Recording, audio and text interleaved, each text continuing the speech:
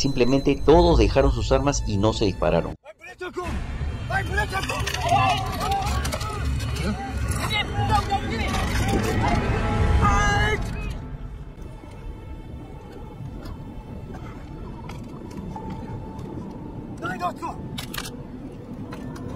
La tregua de Navidad fue una serie de altos al fuego no oficiales que se extendieron a lo largo del frente occidental en la Primera Guerra Mundial alrededor de la Navidad de 1914. Hacía pocos meses que había estallado la Primera Guerra Mundial y alemanes, franceses y británicos combatían en los frentes de Bélgica y Francia, cuando el 7 de diciembre de 1914 el Papa Benedicto lanzó desde Roma un llamamiento a los líderes de Europa que declaren una tregua navideña. Benedicto vio que la paz era muy necesaria, aunque solo fuera por un día. Estábamos en el frente de batalla a unos 200 metros de los alemanes y en la Nochebuena habíamos estado cantando villancicos y los alemanes también. Contó años después el soldado británico Marmaduke Walkington. Nos estuvimos gritando cosas, algunas eran insultos, pero la mayoría de las veces eran bromas. Y un alemán dijo, mañana no disparen, que nosotros no dispararemos. La tregua comenzó en la víspera de Navidad el 24 de diciembre de 1914 cuando las tropas alemanas comenzaron a decorar sus trincheras para luego cantar unos villancicos, específicamente Stille Nacht o Noche de Paz. Este día de Navidad, miles de soldados terminaron juntándose en la Tierra de Nadie, que era la franja de territorio que separaba las trincheras. Esta tregua permitió que recogieran sus bajas llegando a enterrar juntos a los caídos. Lo que sucedió en esa Navidad de 1914 fue único, maravilloso y extraño al mismo tiempo, como lo escribió un soldado alemán que vivió lo ocurrido. Aunque esa tregua no oficial también involucró a algunos soldados franceses y belgas, se dio principalmente entre británicos y alemanes. En los campos Flandes en Bélgica, estaban los soldados que protagonizaron el encuentro histórico. Ellos se encontraban en un área que era propensa a las inundaciones. El clima, los combates y la construcción de trincheras habían destruido el sistema de drenaje. Había llovido muchísimo, estaba con una neblina muy brava y hacía frío. Mantener y vivir en las trincheras se había vuelto muy difícil para ambos bandos. Así que en esa zona, al menos durante diciembre, la intensidad de los enfrentamientos disminuyó y se dieron una especie de treguas en las que los soldados salían de las trincheras para hacerles reparaciones y así evitar que se inundaran o para permitir que llegaran los equipos que traían los suministros de alimentos. Pero también en algunos casos el cese de las hostilidades se acordaba velozmente para recoger y enterrar a los soldados caídos. Poco a poco se crearon las condiciones para que una tregua a pequeña escala se pudiera dar para Navidad en esa zona.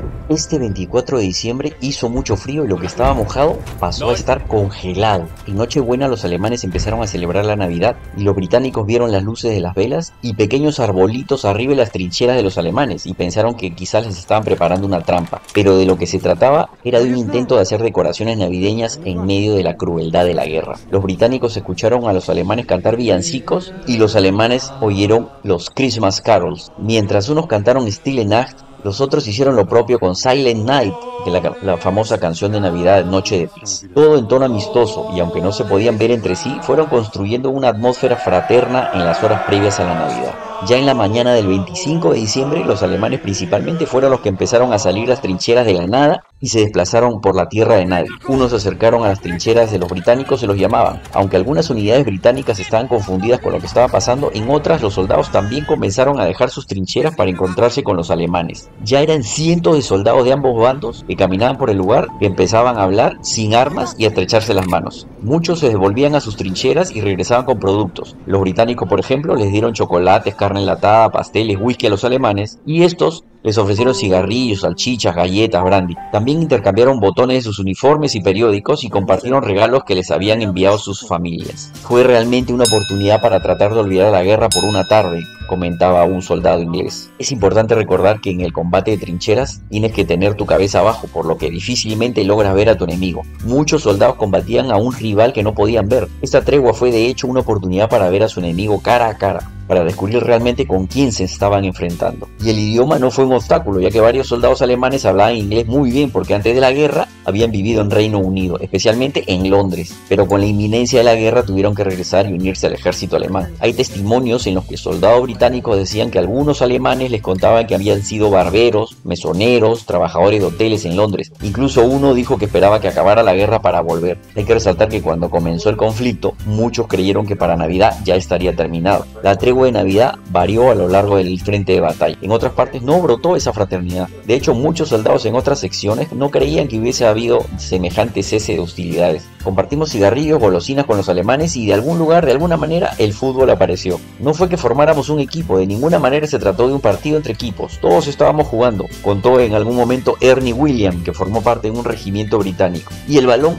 vino de su lado, no del nuestro. Él mismo tuvo la oportunidad de chutar. Yo era bastante bueno, dijo. Tenía 19 años, contaba Ernie. Hay muy poca evidencia directa de que se haya jugado fútbol durante la tregua de Navidad, pero hay cartas y relatos de alemanes que estuvieron cerca de un pueblo en Bélgica y de soldados británicos en otro lugar de Bélgica que dicen que sí jugaron fútbol. Obviamente estos relatos han ido saliendo a la luz en diferentes momentos, pero es una buena evidencia de que el tema del fútbol realmente sucedió. En un relato de soldados alemanes se dijo que habían jugado un partido de fútbol contra los escoceses y que habían ganado 3 a 2. Tres cartas de soldados británicos hacen referencia a un juego completamente abierto, no un partido propiamente organizado en el que decenas de soldados de ambos bandos corrían para tener la oportunidad de patear el balón. También hay testimonios de otros soldados británicos que participaron en la tregua aludiendo al hecho de que los partidos de fútbol estaban al menos planeados, pero no fueron posibles debido a la falta de una pelota, problemas en el terreno o porque los oficiales no dieron permiso. Probablemente unos 200 soldados pudieron haber participado en un partido de fútbol. Por el momento se tiene evidencia sólida de que hubo dos juegos de fútbol. Y las noticias de la tregua tampoco tardaron en regarse. En enero ya habían fotos tomadas por los mismos soldados y fragmentos de cartas que habían enviado a sus familiares circulando en los periódicos. A inicios de enero de 1915 los periódicos de repente empezaron a imprimir estas cartas y al principio hubo una cierta cuota de incredulidad, pero con el tiempo también comenzaron a aparecer fotos. De cierta manera fue como una maravillosa foto instantánea de la Navidad de 1914 Nunca ha sucedido algo como la tregua de Navidad y hay gente que duda que haya pasado incluso hasta el día de hoy. Todo tiene su final y la tregua de Navidad no terminó así nomás. Llegó a su fin en diferentes momentos en distintas áreas. Los oficiales superiores de ambos lados tenían reacciones mixtas hacia lo que estaba ocurriendo. Algunos de ellos pensaron que si permitían que continuara, el espíritu de lucha de los ejércitos desaparecería. Los soldados verían que el enemigo no es realmente el enemigo y eso haría que la guerra se detuviera. Pero otros altos mandos creían que la tregua era muy útil porque permitía reconstruir las trincheras y enterrar a los muertos. De hecho, en algunas áreas de tierra de nadie había muchos cadáveres. Lo cierto es que llegaron las órdenes de los mandos superiores y había que reiniciar la guerra. La artillería, las armas tenían que volver a ponerse en funcionamiento. Se le debía disparar a los enemigos que trataran de salir de sus trincheras. En el terreno las directrices se cumplieron pero a otro ritmo. Las unidades que participaron en la tregua procuraron darse tiempo entre sí para poder irse. Cuando una unidad nueva que no había estado involucrada en la tregua llegaba a la trinchera, es ahí donde la guerra empezaba. Se dio el caso de un oficial británico que había recibido la orden de bombardear una gran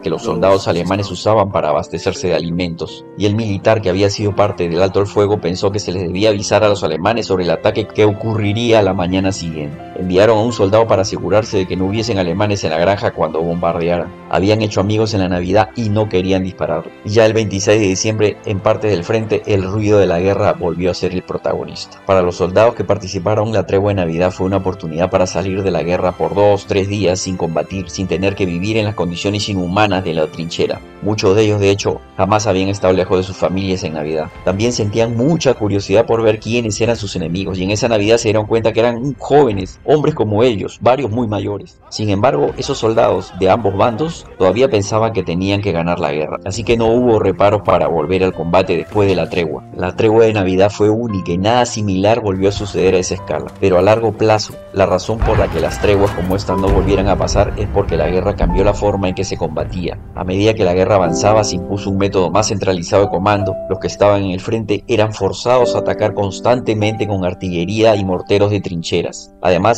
el conflicto tomó un giro más cruel, con la introducción de gases y el aumento de víctimas civiles. La brutalidad de la guerra pudo influir en que menos soldados quisieran conocer al enemigo. Y estas treguas de Navidad hacen que uno piense que estos días son mágicos, pueden detener hasta la más cruenta guerra.